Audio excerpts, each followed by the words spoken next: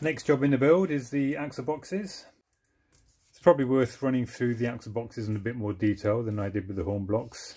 So what I've got here is two lumps of cast iron, big enough for a full set of axle boxes, so six. The first thing I need to do is clean up the surfaces and square up the external faces. So to that effect I put one in the machine vise here with the cleanest face, this face here, against the back of the vise.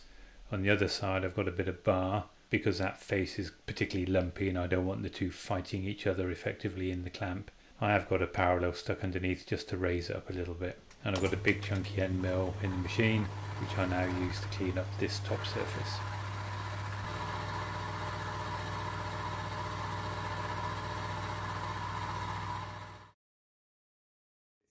Now I've cleaned up the first face, it's a simple case of just swapping it around, other way up back in the machine vise and again a bit of bar on the back side.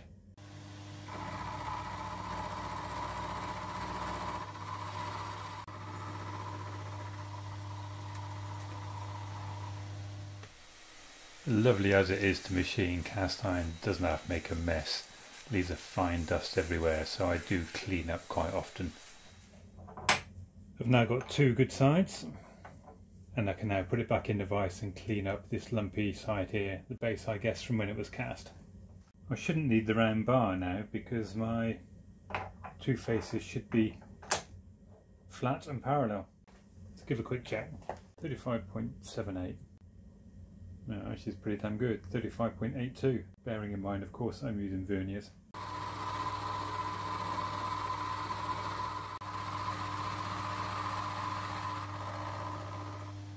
I've already taken a couple of big chunky cuts off this face.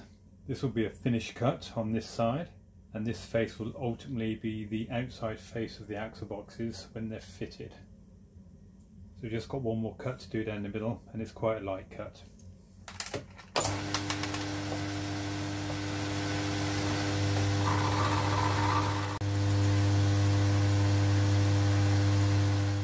Whilst I've got it held here, I'll just drop the end mill down and clean up both the ends.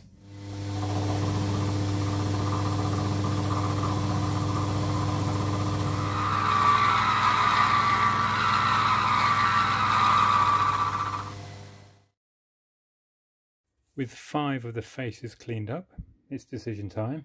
And after some thought, what I've decided to do is to carry on with the milling operations and bring the cast iron block down to the width of the axle box, so inside to outside. This is the inside here, and that's the outside there.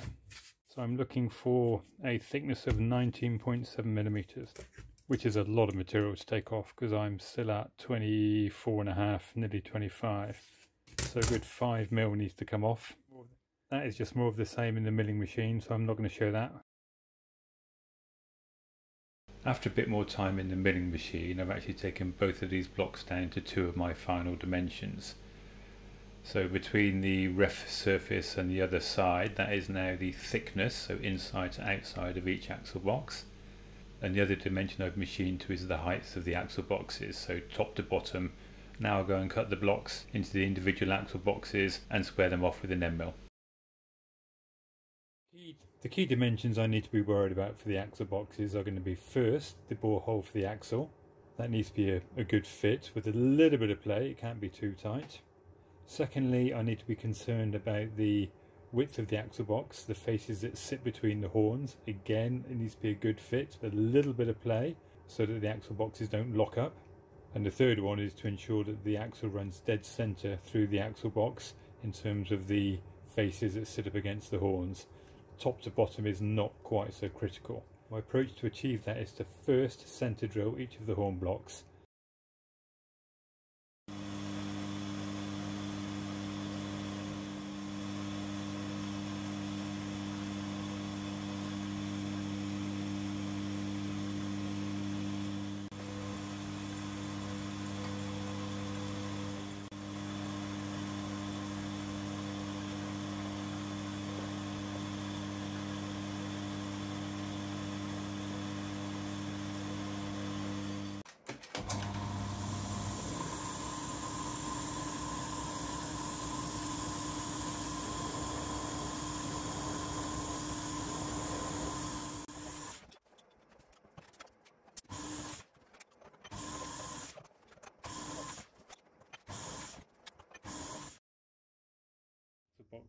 got the axle box in the four jaw.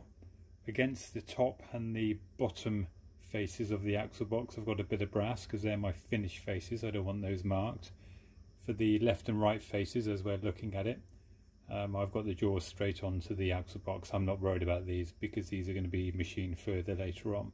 To get the axle box centered in the four jaw, I'm using the floating dead center method. So I've got a dead center in the tailstock and another dead center between the center in the tailstock and the center hole that's drilled in the axle box. And as we can see, I've got a dial gauge up against the end of the dead center that's floating. I've already done the adjustment and I'm pretty pleased. There we are, I've got a total variation of just over 0.01 millimeters. I'll run a series of drills now just to open this up to as close to 16 as I can get. I think I've got a 15 mil drill, so we'll take it that far.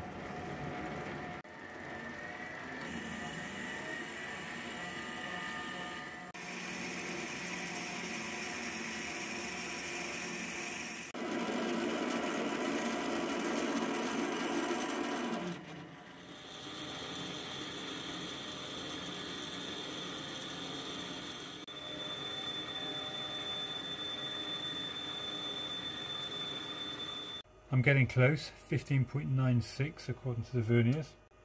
Not the best for measuring inside diameters. I've turned a little go, no go gauge, which has some very subtle steps on it. So according to the mic, that step is actually bang on 16. This is my 16mm silver steel bar, and it quite literally fits but that is too snug. I need a very very slight overbore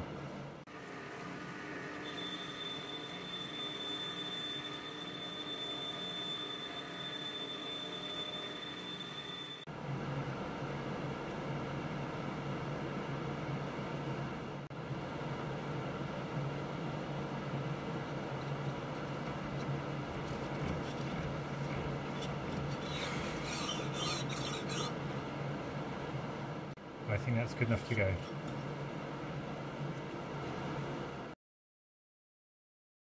At this point it makes sense for me to turn up the axles. That should be a relatively simple turning exercise. So I'll get on and do that now and then we'll come back and finish off these axle boxes.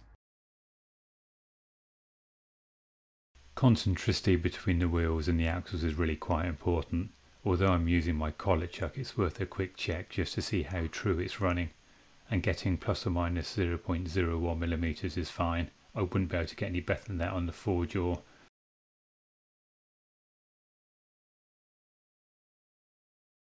After cutting three lengths of 16mm silver steel bar, the first job was to face off one end and then both face off and cut to length at the other end.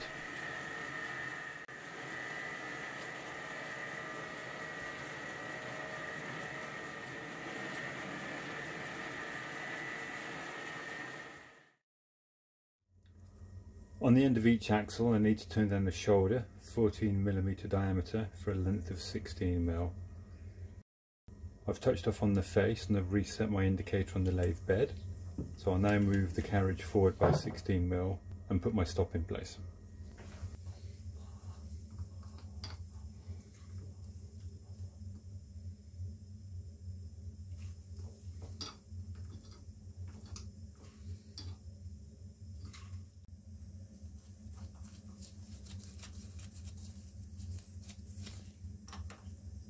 It's crude, but it is effective.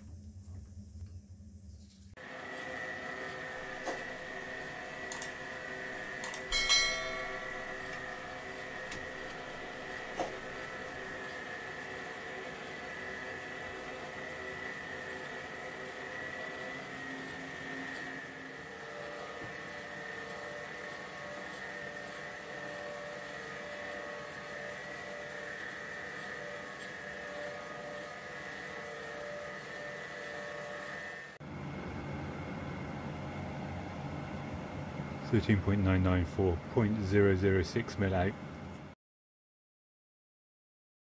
The last operation on the axles is to cut a recess in the shoulder. The 14 mil shoulder will align to the 14 mil holes I'll be boring in the wheels. As I'm going to be loctiting the axles to the wheels, there needs to be space for the compound. And to get that space, I'm actually going to cut a recess from round about two and a half mil in from the end and two and a half mil out from the other end of the shoulder and I'll make that about 0.1mm deep.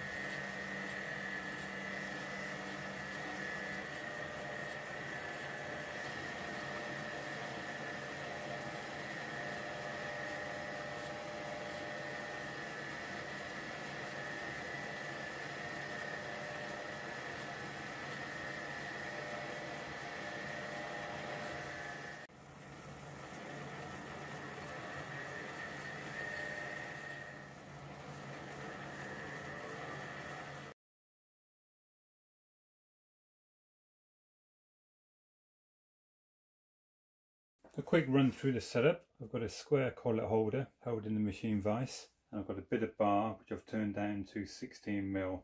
This will allow me to slide on one of the axle boxes and then clamp it in place.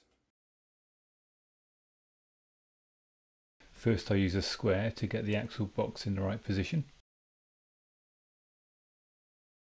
It may be a little bit over the top, I also add a back plate to give the axle box a bit more support with this setup I take a light cut on the top surface using the end mill. I then remove the collet chuck, rotate it 380 degrees and refit it back in the machine vise and take the same cut on the other side. With this approach I can now be confident that both these faces are equidistant from the axle centre line. 29.6, 1.6 to come off, so that's a 0.8 on either side. The 28mm is the dimension I'm looking for on the flange across the outside of the axle boxes. So I carry on in the same fashion. We take 0.8mm off this side and then rotate the whole lot again 380 degrees and take the same depth to cut on the other side. With the flanges out of the way I carry on in the same vein but now I'm machining the dimension that sits between the horn blocks and of course leaving the flange at the back end of the block as we're viewing it here. I bring the cut down to just over half the width of the gap between the horn blocks before rotating the part and doing the same on the other side.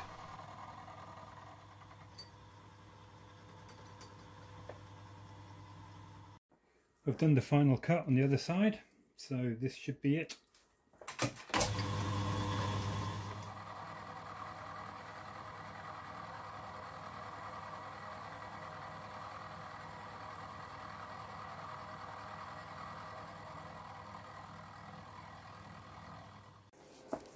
Let's try it for a fit. I'm not looking for anything too tight. I do want a little bit of give, otherwise it's liable to lock up. You can see the axle box there.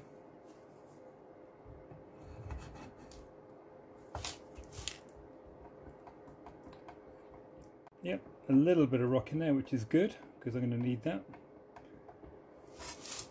Out of interest, I've been working specifically to that horn block. Yeah, look at that, he's slightly tighter in this one. Still a little bit of rock, but slightly less. I'm really pleased with that. I think that is just what I'm after. Right, another six to do. We're into home straight on these axle boxes now. Just a couple more features need to be machined in each one. I need to do the oil recess at the top and drill the oil passageway down through and then on the bottom I do need to drill and tap the holes for the spring pins. After using the edge finder to establish the centre of the axle box I started off with a 4mm slot drill. But I soon realised that this was going to take me forever. So I swapped out the 4mm slot drill for a 12mm slot drill recentered the workpiece under the quill and went straight down to the depths of the recess.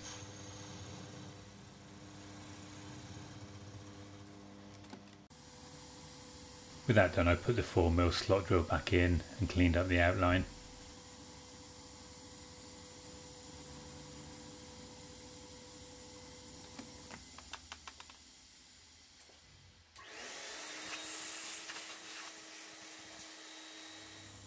After centre drilling it was a little nerve wracking drilling neural passages. Using such a small drill, 1mm diameter, in such a large machine is not conducive to good feedback, but I managed all six without any breakages.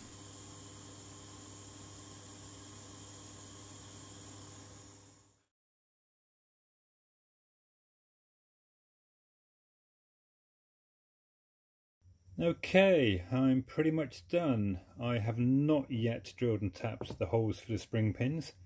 I'll do that later after I've made the horn stays so I can actually spot through. Otherwise everything else is done for all three axles and all six axle boxes.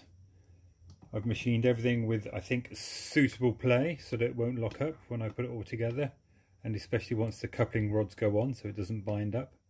And it's been an interesting exercise. One point to note is that each of the axle boxes I've made specific to its location and I've numbered each with some little stamps on the bottom.